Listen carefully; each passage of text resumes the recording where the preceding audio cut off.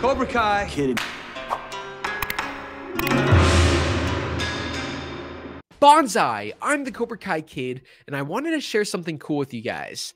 Here we have a picture of Alicia Hannah Kim, who plays Kim Da Eun in Cobra Kai, with Sarah Anne, who also plays Kim Da Eun in Cobra Kai. She plays the young version of Kim, who we see in season 5, episode 7, in the flashback with young Kreese, young Terry Silver, and, of course, Kim Sung Young. It's so cool that these two actresses finally got to meet two versions of the same character from different periods of her life.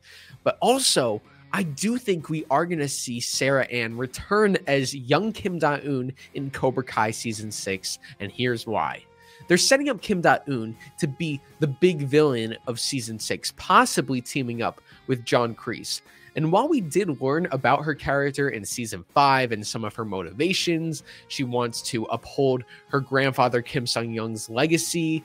I do think we need a little more context and backstory about her character to really resonate with her or fear her in the sixth season. And I did like the flashback with her in season five, episode seven, with young Kim Da Eun, where we saw her looking at Kreese and Silver fighting, and Kreese even winked at her. So that was possibly setting up a friendship or a connection going into season six. I want to see more. Kim Da Eun is a very interesting character, and I think every time we learn a little more about her, it really gets me more and more interested in the character. So I think by bringing Sarah Anne as a young Kim Da Eun in season six, it allows you the opportunity to do more flashbacks and explore the Kim Da Eun character to set up her present day self and set up the villain that she's probably going to be going into season six. So what do you guys think? Do you want to see more Kim Da Eun flashbacks?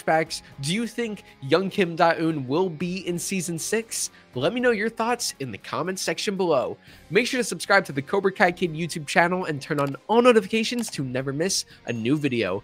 Hit the like button and share the video with your fellow Cobras, Eagle Fangs, and Miyagi-Dos. I'll see you all next time on Cobra Kai Kid, and until then, remember, Cobra Kai never dies.